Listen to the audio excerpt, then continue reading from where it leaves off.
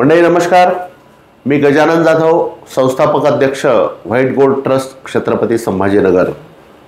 आपण दर सोमवारी आठवड्याचा हवामानाचा अंदाज देत असतो.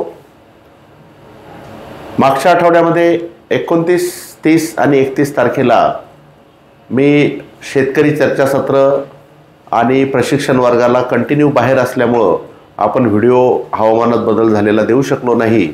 रेकॉर्डिंग बदलण्यासाठी सुद्धा काही तांत्रिक अडचणी आल्या. त्याबद्दल मी दिलगिरी व्यक्त करतो. मागच्या दोन चार वर्षात असं कधी झालं नाही पण मागच्या वेळेस नेमकं आपल्या हवामान अभ्यासकांनी सुद्धा अंदाज बुधवारी गुरुवारी दिला. आणि मी सतत मंगळवारपासून बाहेर होतो. त्यामुळं थोडंसं आपल्याला इनकन्व्हिनियन्स झालं. तिथे पूर्व विदर्भात काही ठिकाणी पाऊस पडला. आता या आठवड्याचा हवामान अंदाज जर आपण पाहिला तर जे अस्थिर वातावरण झालेलं होतं एकोणतीस तीस एकतीसच्या दरम्यान कालपर्यंत तर ते आता अस्थिरता निवळली आहे. शनिवार दिनांक सहापर्यंत बहुतांश ठिकाणी कोरडं हवामान राहील तापमानात वाढ होईल चाळीस ते बेचाळीस अंशापर्यंत तापमान जाईल. पण विदर्भ मराठवाडा आणि मध्य महाराष्ट्रामध्ये काही ठिकाणी ढगाळ वातावरण सुद्धा राहू शकतं. काही ठिकाणी ढगाळ वातावरण राहू शकतं.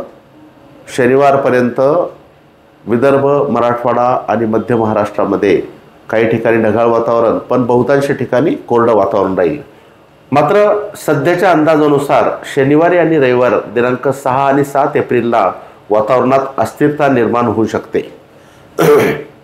शनिवार दिनांक सहा एप्रिल आणि रविवार दिनांक सात एप्रिलला वातावरणात सध्याच्या अंदाजानुसार थोडीशी अस्थिरता निर्माण होऊ शकते.